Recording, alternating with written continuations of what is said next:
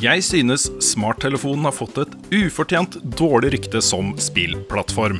Ja, det er utrolig mye dritt der. Dårlige kloner, gratisspill med møkkaannonser, griske mikrotransaksjoner. Men hvis du graver deg gjennom dritten, finner du noen helt fantastiske spillopplevelser. Jeg har vært fullstendig hekta på Tiny Wings. Løst briljante puzzles i Gorogoa.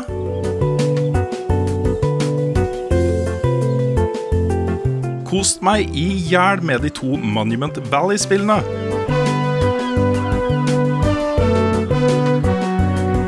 Kommet i sonen med Altos Adventure og Odyssey. Og kjempet mot tårene i My Child Lebensborn, for å nevne noen få favoritter. Hvis du vet hvor du skal lete, er det mange deilige mobilspill der ute. Men hvis du bare er sugen på et mobilspill uten å vite nøyaktig hva du ser etter, har det blitt en stadig mer umulig og fæl prosess. Nå presenterer Apple et slags våpen mot den dynga AppStore har utviklet seg til å bli. Apple Arcade. Og som spillplattform er lanseringen bortimot perfekt. For en drøy 50-lapp i måneden får du fri tilgang til et håndplukket spillbibliotek hvor annonser og mikrotransaksjoner er helt fraværende. Utvalget av spill er allerede sjokkerende godt, og skal bli bedre og større med jevne mellomrom. Det er enkelt å bla seg gjennom katalogen. Alle spillene har gode beskrivelser og videoer. Noen av spillene har til og med fått miniguider for spillere som står fast. Og Apple sier selv at det sitter ekte, faktiske mennesker og oppdaterer butikkfronten til Arcade. Som en sjokkerende gavmild topp av denne kransekaka kan dessuten ett abonnement deles av inntil seks familiemedlemmer. Som småbarnsfar får jeg nesten en tåre i øyekroken. Så langt er dommen krystallklar. Apple Arcade er rett og slett utrolig god valuta for pengene. Men vel så viktig, kvaliteten på spillene som er tilgjengelig, er ekstremt høy. Her finner du det delvis norskutviklede skatespillet Skate City. Yeah, yeah.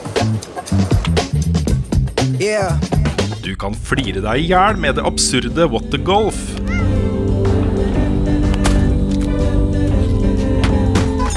Dark Souls-fetteren Bleak Sword imponerer meg voldsomt.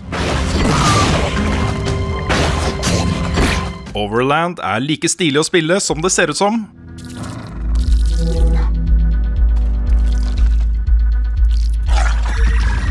Og så har du naturligvis dronningen av den første lineupen til Apple Arcade. Det smertefullt vakre og deilige Sayonara Wild Hearts. Tenk det! Her har Apple Arcade fått et spill som kommer til å komme høyt på min toppliste for 2019.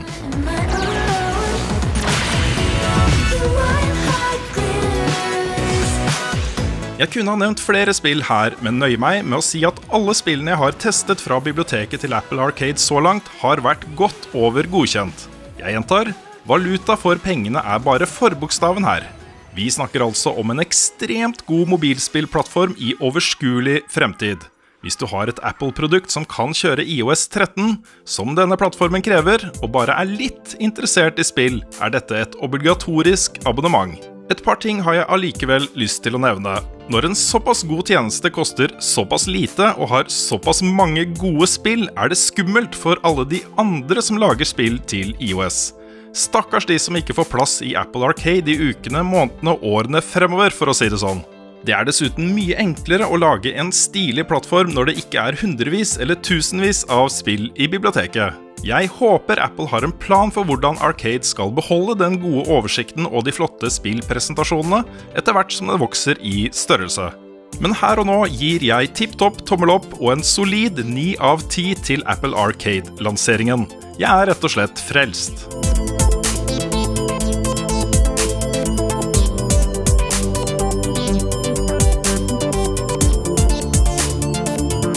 Og mens jeg er i såpass godt humør, tusen hjertelig takk til alle dere fantastiske folk som støtter oss med et månedlig beløp på patrion.com.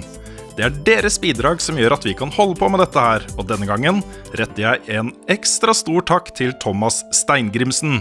Tusen takk, Thomas.